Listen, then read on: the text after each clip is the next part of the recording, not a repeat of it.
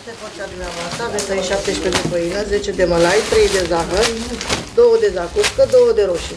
În ciuda temperaturilor scăzute din termometre, târgujenii s-au postat încă de la primele ore ale dimineții în fața Direcției de Protecție Socială. O mare parte dintre alimente au venit aceștia mai așteptând mierea, pastele și conservele de carne. O bătrână de 80 de ani vine de două zile să își ridice alimentele, însă nici în această dimineață nu a reușit. Femeia este supărată și din cauza că a fost nevoită să îndure temperaturile scăzute din termometre, fără niciun rezultat. În fiecare zi și în fiecare zi nu mă lămurești. Ba, te-am lămurit, vin când data să nu Ia, bunică. Stați o secundă să terminăm cu E, e, uitați-vă dacă e bine să nu mai stau degeaba, că bunica e bătrână și bolnavă. Este și frig afară? E foarte frig, bunică. O altă bătrână a venit cu taxiul pentru a-și lua alimentele. Ați venit după alimente? Da, Ați venit cu taxiul? cu taxiul. Sunt grele?